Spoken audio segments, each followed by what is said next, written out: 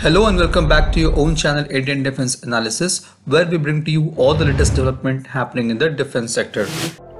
China continues to maintain around 60,000 troops opposite the line of actual control in eastern Ladakh. China has advantage of motorable roads and superior infrastructure on its side of LAC. India, with the help of BRO, is catching up, but at present it's relying more on its fixed wings and rotary assets for troop movement and logistics deployment. The Indian Air Force presently operates a fleet of Russian and American built transport aircraft consist of Boeing C-17 Globemaster in 11 numbers, 14 Ilyushin IL-76, 12 Lockheed Martin C-130J and more than 90 Antonov AN-32 aircrafts. Now the problem is that the production line of C-17 is closed because of which additional order cannot be placed.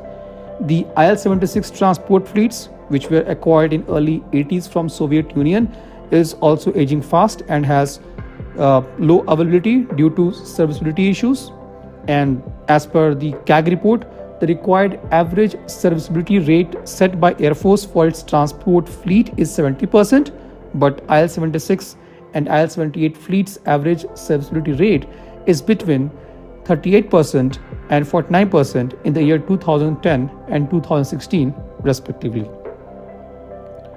Talking about Antonov AN-32 which will also start phasing out from 230 however they can be replaced by Tata Airbus C295 and Air Forces considering that option.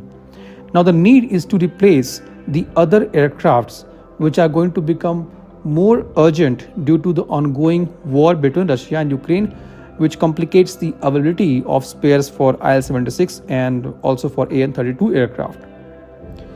The Indian Air Force needs more strategic airlifters as it will allow troops and equipments to be shifted between theaters rapidly.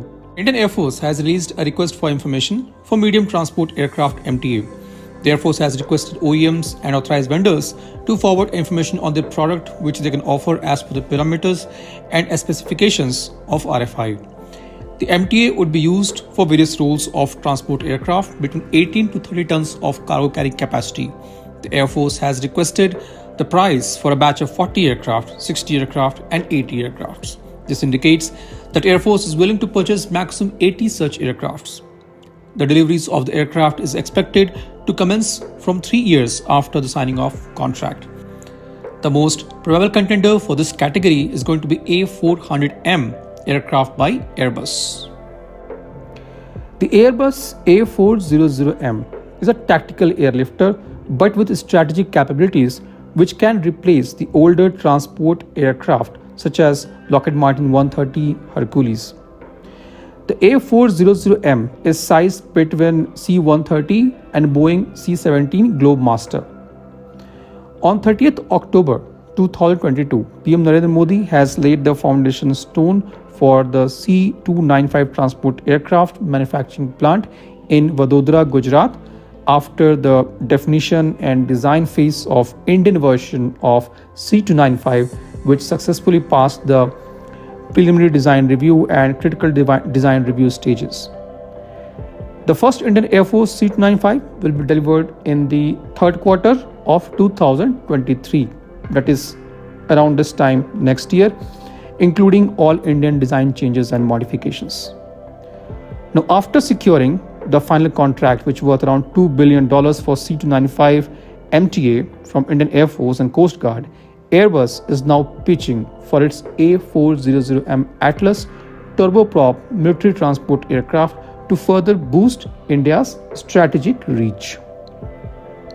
Now, this aircraft can carry heavier payload than C 130J and is also able to use rough landing strips. In addition to its transport capabilities, the A400M can perform aerial refueling and medical evacuation when fitted with appropriate equipment. As per Airbus, the manufacturing plant of C295 can also be used for A400M, which is good news. Now, earlier it has also been reported that Indian Air Force is really impressed with the performance of this aircraft. Talking about A400M Atlas, it is touted to be the most advanced, proven and certified airlifter available combining 21st century state-of-art technologies. It combines the capability to carry strategic loads with the ability to deliver even into tactical locations with small and unprepared airstrips and can act as even frontline tanker. As per Airbus, it is one aircraft that can do the work of three, that is, act as a tactical airlifter, transporting men and material to frontline air bases, landing on grass or sand strip, as well as delivery of paratroopers or pallets by airdrop. Second, it can act as a strategic airlifter where it can transport outsized and heavy vehicles or equipment. Third, the aircraft can be modified to perform the role of a refueler. Now, if we look at the technical specification of this aircraft, it is powered by four Europrop TP400 D6 turboprop engine and has a maximum takeoff weight of 1,41,000 kg. It can carry 37,000 kg of payload, which includes 116 fully equipped soldiers or 66 stretchers accompanied by 25 medical personnel. It has a huge cargo compartment having width of 4 meters and height of 3.85 meter and length of 17.71 meters. The aircraft has a maximum speed of Mach 0.72. It has a range of 3,300 km at max payload and 6,400 km with 20 tons of payload. Its tactical takeoff distance is 980 meters and tactical landing distance is 770 meters. This was today's update. Please let us know your views on this in comment section. If you like the video, do not forget to like, share and subscribe. With this, I would like to say goodbye and Jai Hind. We'll soon back with more interesting and amazing development happening in the defense sector.